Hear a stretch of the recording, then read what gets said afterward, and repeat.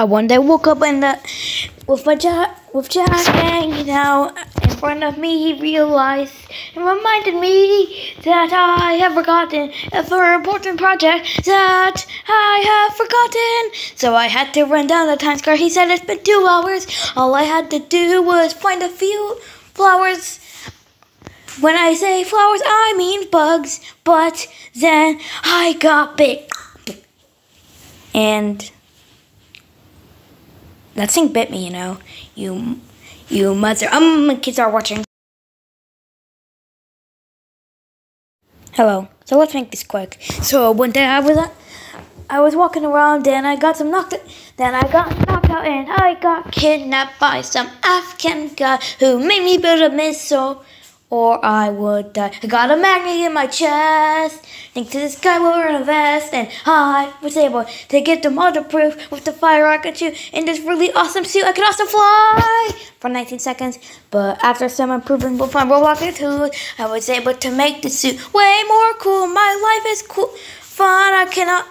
I can also fly all the way to space, which made me have an isolation problem.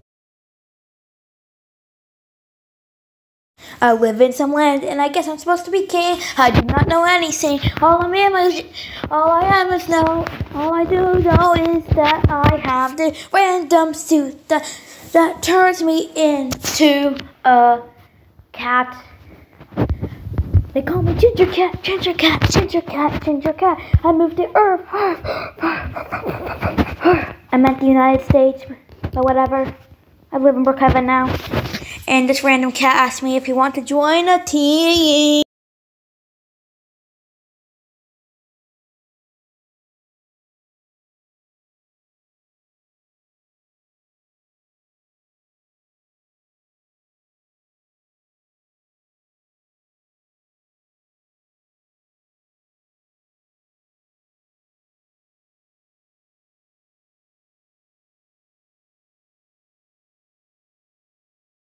I was standing at a fireworks show, figured out I have absorbed electric electrocution, whatever that word means.